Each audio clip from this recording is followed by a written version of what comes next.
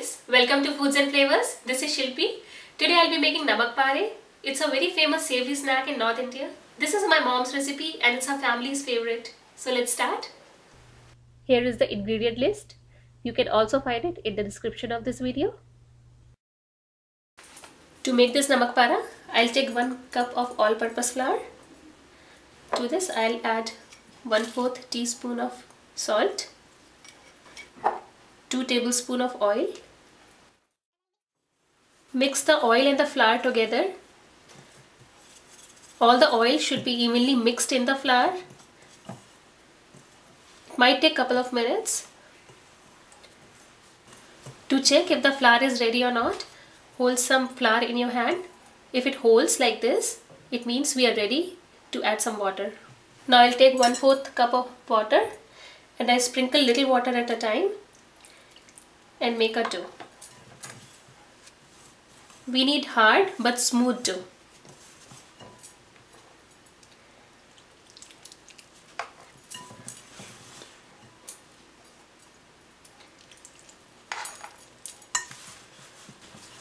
To bind everything together, I'll put one spoon of water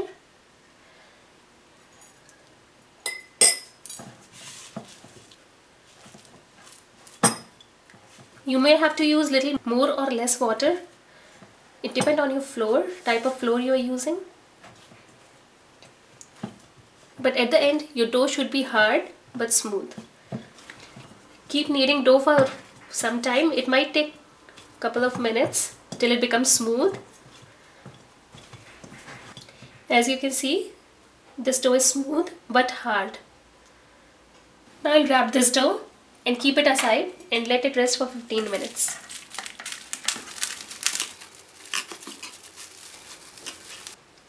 It's almost 15 minutes. Let's take out the dough.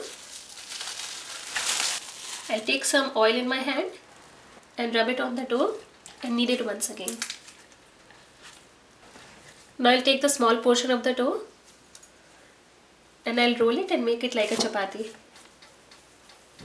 Press it from the side and try making the round shape. When you do it this way, it's easy to roll the dough. Now I'll roll the dough and make a chapati shape.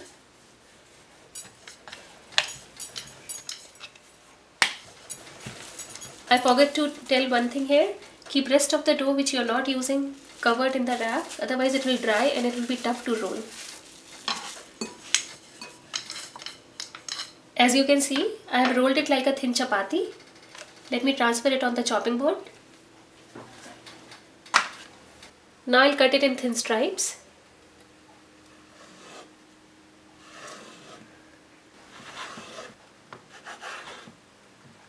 Now I'll cut it diagonally to give it diamond shape.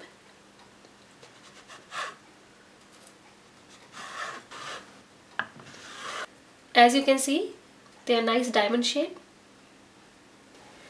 Now these pieces are ready. We'll deep fry them. Oil is hot at medium heat. To check it, I'll put one piece.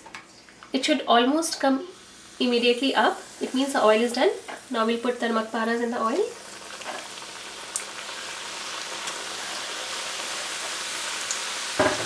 We turn them over and reduce the heat to medium low.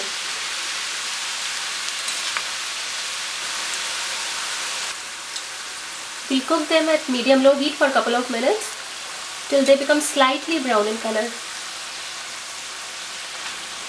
We had put this namak para on medium heat so that they can puff and reducing the heat to medium low will make them cook from inside and then we'll increase the heat so that they'll become crunchy and get nice color. As you can see, they have become little brown in color, light brown in color. I'll change the heat to little more than medium heat to give them some color. It's been couple of minutes. Now they are turning golden brown. It's time to take them out. Don't overcook them, otherwise they'll burn and they'll not taste good. To spice up these namak para, we'll make a masala for it. I'll take some salt, amchur powder, chili powder, mix everything well and sprinkle the masala on namak para. You can sprinkle more or less according to your taste. Namak paras are ready. Once these namak para cool down, you can store them in an airtight container for almost a month. Enjoy them with hot tea and coffee. For more recipes, visit my YouTube channel. Thanks for watching my video. See you next time.